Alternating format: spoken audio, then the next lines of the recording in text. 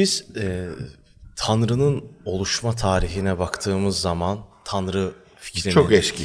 E, orada çok keskin bir iyi kötü ayrımı var. Mesela Tanrı niyeyse hep iyi bir şeyler yapıyor ki pekala kötü de olabilir. Mesela işte mitlerde de kötü şeyleri var. Şimdi yapay zeka devri bilmem ne var ve e, iyi ve kötü çok fazla iç içe geçmiş. Bu insanın Tanrı arayışını nasıl etkileyecek? Duracak mı bu arayış? Valla durmamasını ümit edelim. Çünkü Tanrı arayışı olmayan bir şeyi aramak.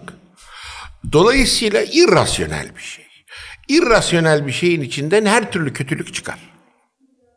Dolayısıyla artık bundan vazgeçmek lazım. Ya varsa? Yok öyle bir şey. Yani ben sana ben, ben sana şunu diyeyim. Mesela şimdi şu çay fincanının yanında ben diyorum ki sana bir tane daha var. Ne diyeceksin? Aa, şimdi ben de sana diyeyim ki ya varsa. ben görmüyorum. Hayır, şimdi oraya, hayır. Ben elini sok bilmem yok ya öyle bir şey. Yani doğa bilimlerine baktığın zaman hiçbir yerde bir yaratıcının izini göremiyorsun. Ve bunu ilk defa Anaximandros fark etmiş. Ve kainatın oluşumunda başlangıçta ne vardı sorusuna adam apeiron diyor. Zamanda ve mekanda sınırsız. Yani kainatın yaratılışı yok. Ama bu boyda şeyleri nizamlayan bir şey var. Yani Hayır nizamlı da değil. nizamsız. Hayır nizam tamamen nizamsız.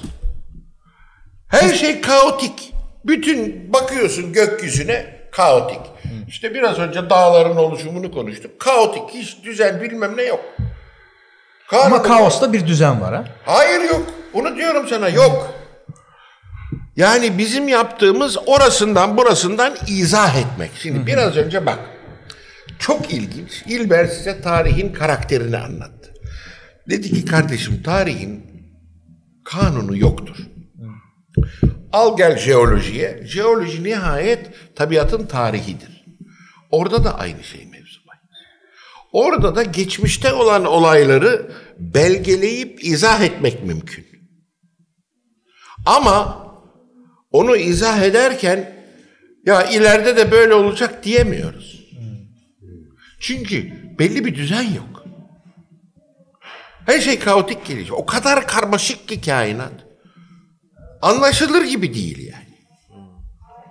Ve yani bugün fizik döndü dolaştı geldi Anaximandros'un dediğine. Şimdi diyorlardı işte Big Bang ondan önce hiçbir şey yoktu falan. Şimdi ortaya çıktı ki ondan önce de bir şey var. Onun izlerini ufak ufak yakalamaya başladılar. Dolayısıyla ne başlangıcını görüyorsun ne sonunu görüyorsun. Geldik Apeiron'a. Milattan önce 2500 yıl bizim Miletos. Onun için ben öğrencilerime anlatırken oradan başlıyorum. Diyorum Thales ve Anaximandros'la başlayalım. Değil mi? Çünkü ilk defa orada insanoğlu şeyi sorgulamaya başlıyor. Tabiatı sorgulamaya başlıyor. Şimdi Tanrı fikri çok eski. Değil mi? Yani ta ilk ilk ilk en iptidai toplumlarda dahi bir Tanrı fikri bir de ölümden sonra hayat fikri var. Neandertaller bile gömdükleri adamın yanına çiçek koyuyorlar, yok eşya koyuyorlar bilmem ne. Oradan görüyorsun ki adam öldükten sonra bir ha- hayatı olacağını farz ediyor. Evet. Değil mi? Neden? Ölüm korkusu. Çünkü ölüm geldi mi bakıyor ki her şey bitti. Lan diyor her şeyin bitmemesi lazım. Buradan ruh kavramı çıkıyor. Şimdi ruh pneumadır Yunanca. Ne demek biliyor musunuz pneuma? Şu var ya nefes. Pneuma. Arapça nefs. Nefs. Ruhtur. Ruh da ruhtur. İkisi de nefestir. Çünkü ölürken Dua üfleme oradan mı geliyor? tabii bak yapıyor. Aa diyor ruh çıktı gitti. Değil mi? Çünkü kendini aldatıyor. Bir şey var diyor ölmeye. Olmalı diyor. Ölümü bir türlü kabullenemiyor. İşte oradan yok işte melekler, tanrılar, cennet, cehennem, Allah gibi böyle hiçbir şekilde gözle görülemeyen, kontrol edilemeyen, varlığı hakkında en küçük bir ipucunun olmadığı saçma sapan fikirler türemeye başlıyor. Ve tarihin gelişmesine bak. Ne zaman dinle bilim çatışmışsa bilim hep aklı gelmiştir.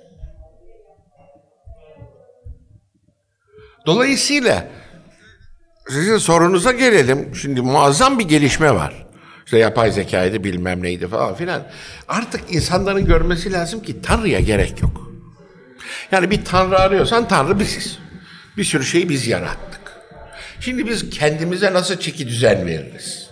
Nasıl bir cemiyet kurarız adam gibi? Nasıl alttakileri ezmeyiz? Değil mi? Buna yeni bir şey bulmamız lazım. Yeni bir temel bulmamız lazım. Dinle bu olmuyor. Yani sen Kur'an'a bakıyorsun köleliği okey diyor ya. Yani böyle saçmalık olur mu be? Yani Kur'an'da bir sürü bilgi veriyor işte zelzele hakkında bilgi veriyor, dağlar hakkında. Hepsi yanlış, saçma sapan şeyler. Neden? E çünkü o zamanın bilgisini yansıtıyor. Sonra Kur'an'dan gidiyorsun Tevrat'a. Tevrat'a bakıyorsun. Aa diyorsun bu Sümerlilerin, Asurluların mitolojisi. Ben Türk televizyonda dedim bu İbrahim, Musa falan filan. Bunların hepsi masal yok böyle adamlar tarihte. Değil mi? Bunlar Yahudilerin milli destanı olmuş. Şimdi bizde de böyle bir destan var. Oğuz Kağan destanı biliyorsunuz. Yok işte gökten mavi ışık indi de bilmem ne. O ne kadar doğruysa bunlar da o kadar doğru. Saçma sapan şeyler.